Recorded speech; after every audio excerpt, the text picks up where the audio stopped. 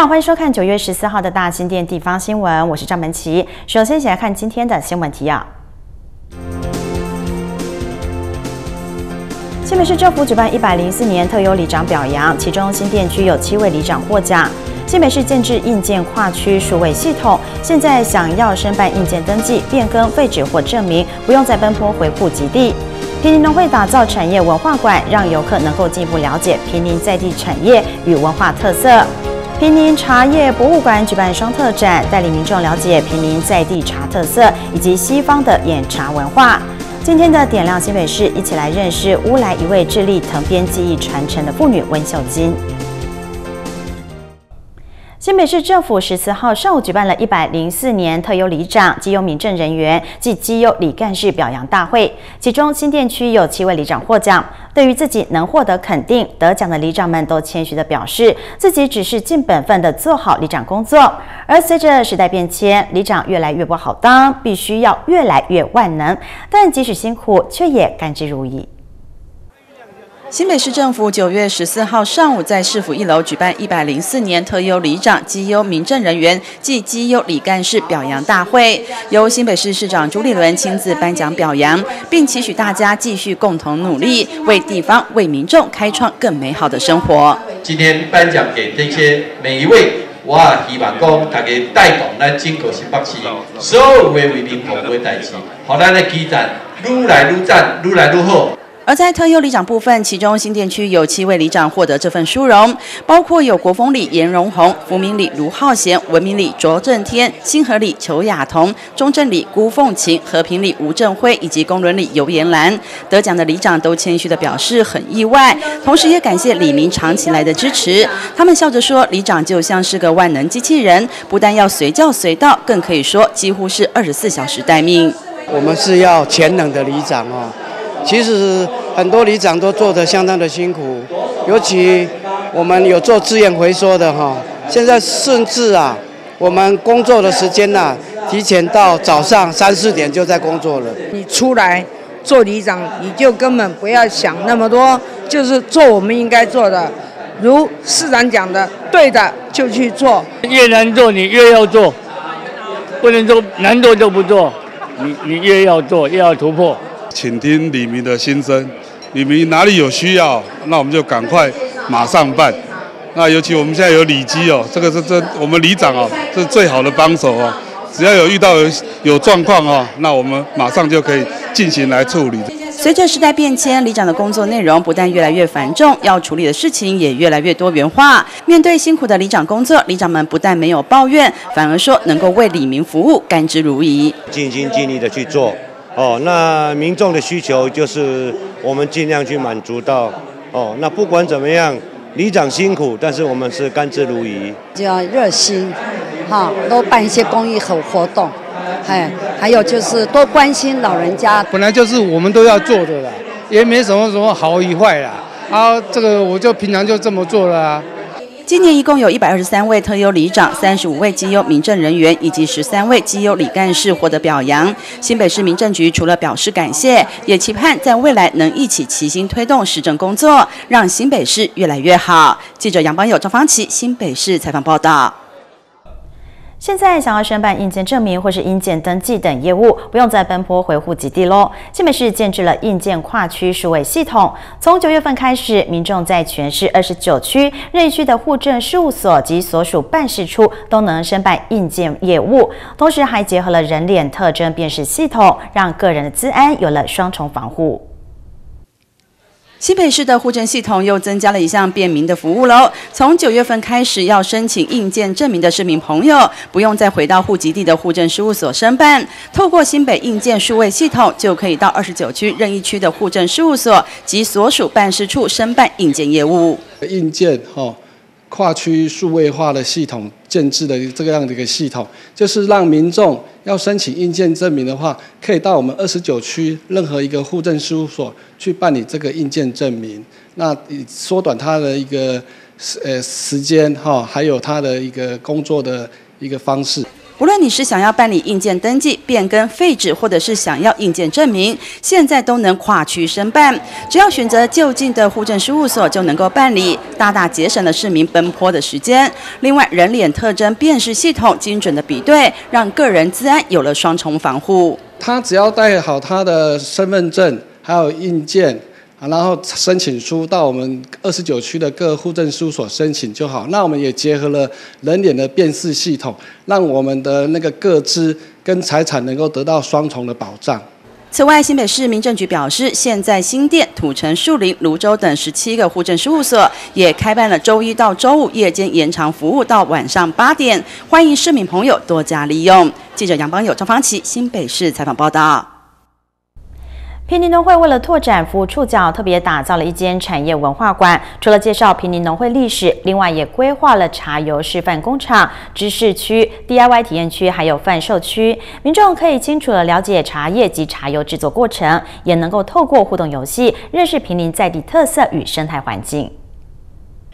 平林农会成立于一九一九年，至今已经有九十多年时间。从二零零一年起，农会开始增设软硬体设备，并且开发了各项茶叶副产品，迈入多元服务产业。另外，为了扩展服务触角，今年八月配合茶油示范工厂的设立，平林农会也正式转型为产业文化馆，让大家可以进一步了解平林茶产业的发展与在地文化生态。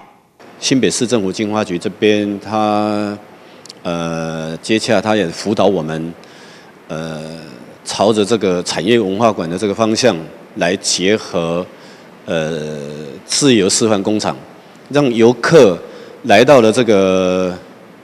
参观示范工厂，同时进到了这个产业文化馆来，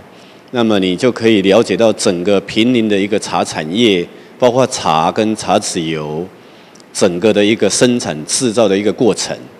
平林产业文化馆虽然规模不大，却是麻雀虽小，五脏俱全。除了规划了茶油产制区，让参观的游客能够了解茶油生产过程；企业历史区则是介绍平林农会的发展历史；而在知识区有茶叶与茶油的相关知识，游客可以透过互动游戏认识平林的特色与生态环境。此外，平林农会也设计了 DIY 互动区，游客在这里也可以亲手制作祈福茶香包与蒜头茶籽油。我们也运用的我们的油品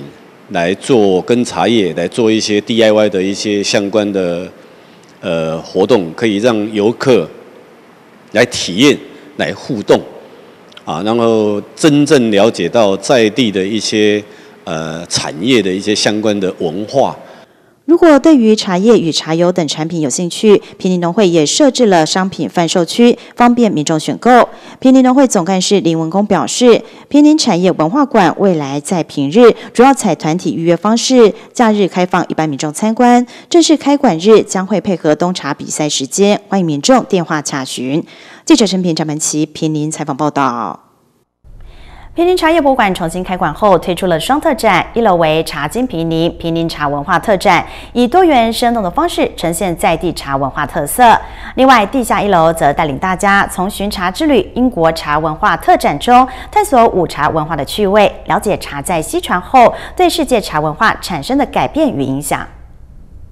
平林茶叶文化馆重新开馆后，在一楼与地下室推出了双特展。一楼的展示馆为茶金平林平林茶文化特展，主要以文创概念重新诠释平林的茶文化，希望让参观的民众用更生活化的角度深入茶乡。展览中更打造了一间茶室，民众可以使用新颖互动的 App 观察各种茶汤及茶叶种类，体会饮茶趣味。另外，如果你想要知道不同茶叶包装方式，也可以透过互动游戏来了解。它这里就是蛮多那种互动互动型的那种展览方式，让能能够比较生活化的了解。它有茶叶制造的过程都有介绍的非常的详细，所以能够对这个茶叶的生产制造能够更深一层的认识。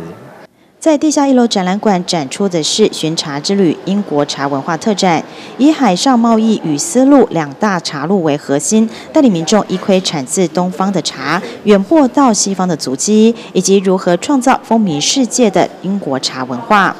在这个特展里面呢，我们就循着这个我们东茶西传的路线，那我们就希望带领着这个我们的参与者一起去看看源于东方的茶，那顺着海路、顺着丝路传到了西方世界，甚在世界上发出了呃发展出了什么样子的不同的这个世界茶文化，比如在英国就发展出了这个。风靡全世界的英国茶下午文，呃，英国下午茶文化。另外，现场还展示了在台湾相当罕见的英国皇家瓷器，以及英国贝德福公爵沃本庄园内的蓝色会客厅，让民众不必出国就能感受到浓浓的英伦风情。记者陈平、张曼琪平林采访报道。广告后继续来看点亮新北市专题报道，先休息一下，马上回来。上网选大型电宽屏，智慧生活我最行。现在申办两百枚光纤上网指定方案，再加码送您 Gami 运动手环，另外再抽八大生活好礼，详情书价二九一七三九三九。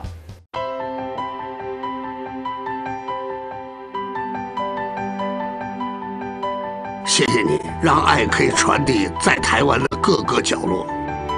谢谢你，让台湾经济弱势家庭不用挨饿，得以温饱。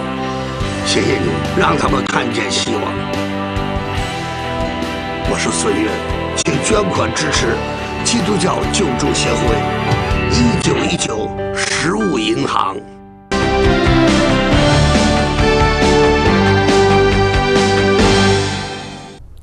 泰雅族过去常利用竹藤编织一些日常生活器具，不过随着材料不易取得，会的人越来越少。而在乌来中治部落，就一位叫做温秀金的编织工坊老板娘。虽然自己不是泰雅族人，却积极的在社区推广这项手工艺。她表示，一来她希望能够传承泰雅老祖先的技艺；另一方面，则是期盼借此帮助社区的妇女学会一技之长。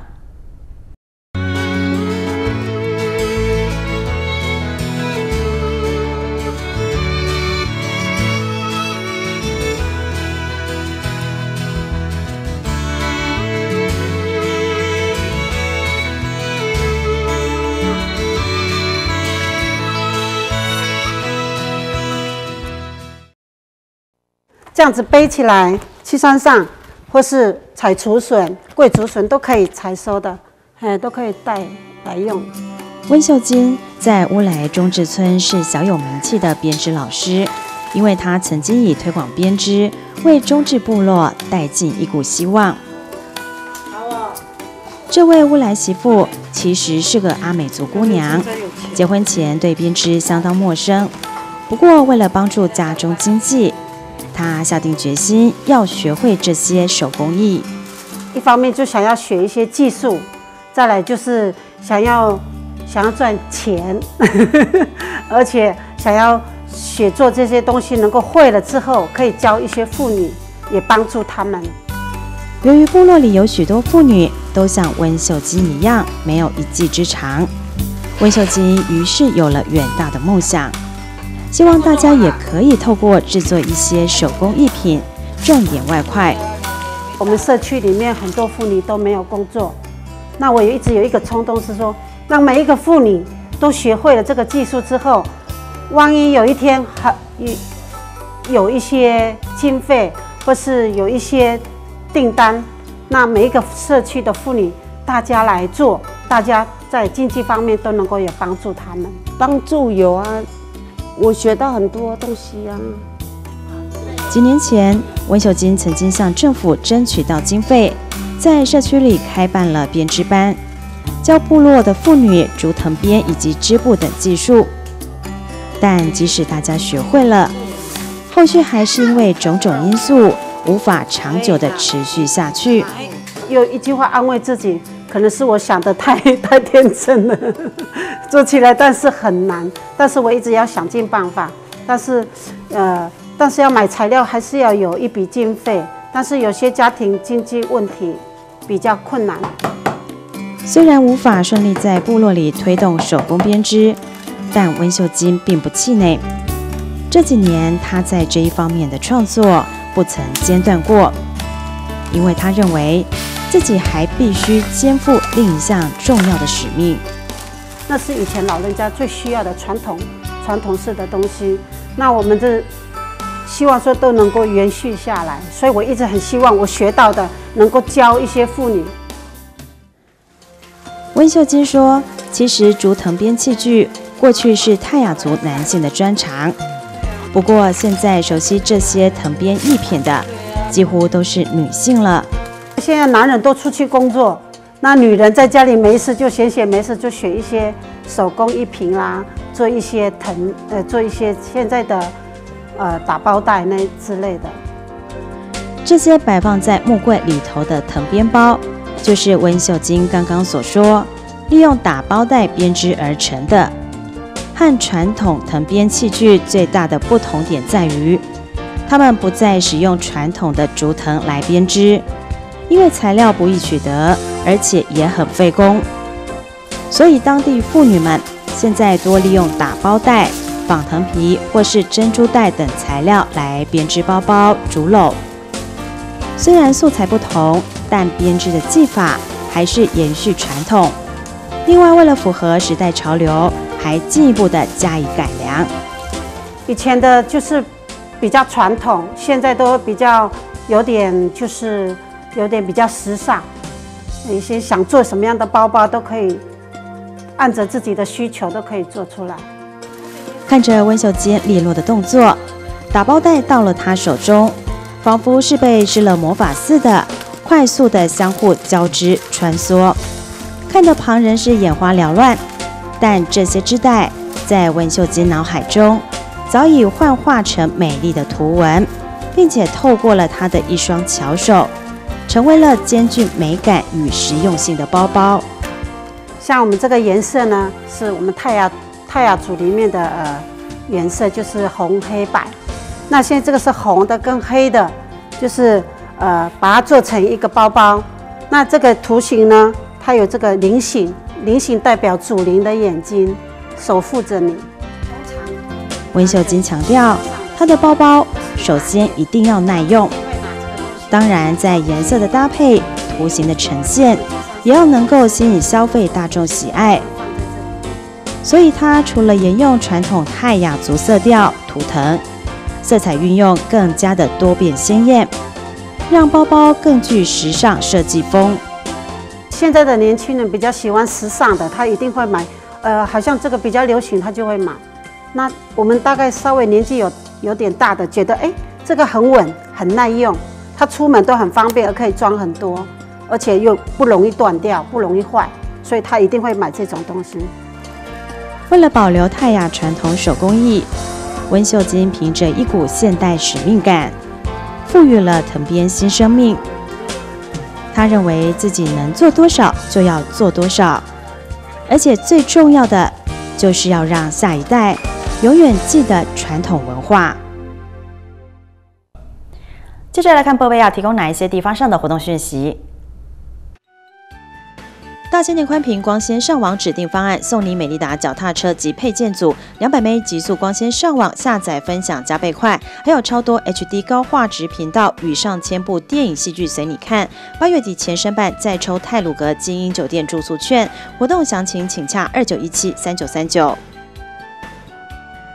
减少纸张使用做环保，即日起申办银行代缴有线电视相关费用，大新店有线电视就送您玻璃保鲜盒、沁凉冰沙杯，二选一，送完为止。详情请上官网查询。新店地震事务所八号行动艺术馆从即日起至九月三十日止，展出新店区德安里国画班陈红莲师生联展。新店地震邀请社会大众到所内共享这场艺文创作飨宴。因苏迪勒台风造成新乌路道路中断，新店区公所于龟山活动中心至捷运新店站备有接驳车，二十人座中型巴士供灾区民众搭乘。详情请洽二六六六七四三一或二六六六五九三四。因应暑期血荒，八月十日起至九月十日止，只要到新店捐血室捐血，就送包子兑换券，欢迎民众慷慨挽袖。详细的资讯请洽二二一八八八六七。